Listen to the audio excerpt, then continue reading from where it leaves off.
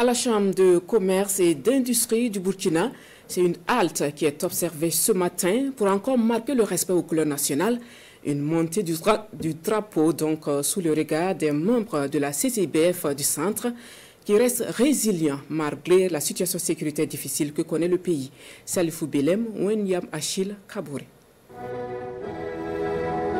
Élus consulaires, opérateurs économiques de la région du centre, bref, les membres de la Chambre de commerce et d'industrie et les autorités administratives de la région hissent le drapeau du Burkina sur son mât sous le signe de l'unité dans la résilience.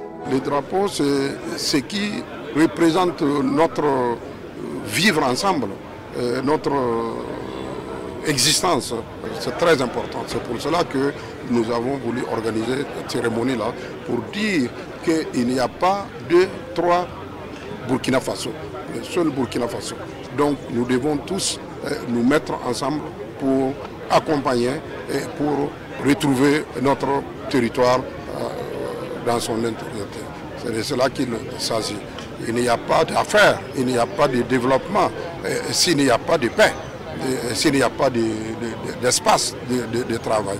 Un secteur privé reste résilient et doit continuer à l'être face aux difficultés pour permettre au Burkina de relever les défis de sa marche vers de lendemain meilleur. Nous avons toujours dit que le drapeau doit être à la verticale, doit être debout. C'est un signe. Et je sais que si le secteur privé est debout, eh bien, nous allons toujours être debout. Parce que la place que vous occupez est très importante.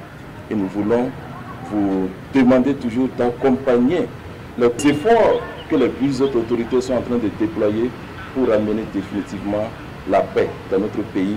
Parce que s'il n'y a pas de paix, il n'y a pas de développement, il ne peut rien avoir. Et pour qu'il y ait la paix, le gouverneur a saisi cette occasion pour annoncer la tenue d'une semaine nationale du vivre ensemble prévue démarrer le 16 mai prochain dans la commune rurale de Koubri.